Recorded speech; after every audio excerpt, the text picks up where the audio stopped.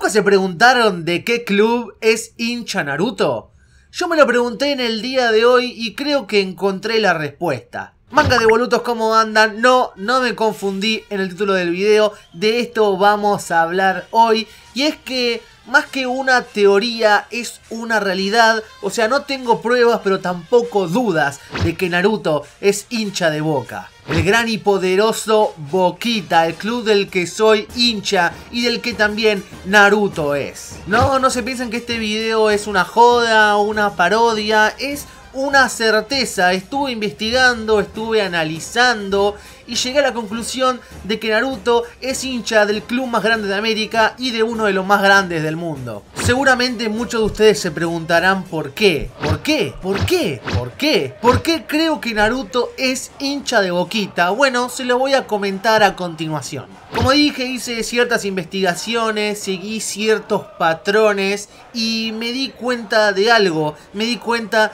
de que Naruto es fanático del fútbol y que es fanático de Boca. A continuación paso a nombrarles paso a paso las pruebas que encontré para descifrar esto. Primero y principal, Naruto es el protagonista, al igual que Boca es protagonista en el fútbol argentino. Es el personaje más importante en su historia, en la historia de Naruto, al igual que Boca es el equipo más importante de la Liga Argentina y de América. Eso como punto principal. Después vamos a hablar de los colores. ¿De qué color es el cabello de Naruto? Sí, es amarillo, al igual que uno de los colores de Boca. Recordemos que Boca se viste de azul y amarillo. Naruto tiene el pelo amarillo.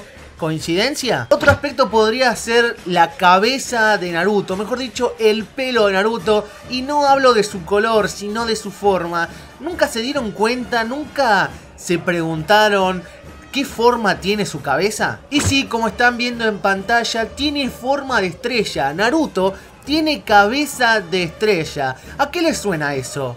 Sí, boca, boquita, boque, como quieran llamarlo, tiene estrellitas en su escudo que representa títulos ganados. O sea que Naruto le hizo un homenaje al escudo de Boca. Otra evidencia de que Naruto podría ser hincha de Boca. ¿Saben ustedes cómo es ¿Cómo dice la letra del himno de Boca? Boca es nuestro grito de amor. Boca nunca teme luchar. Boca es entusiasmo y valor. Boca Juniors a triunfar.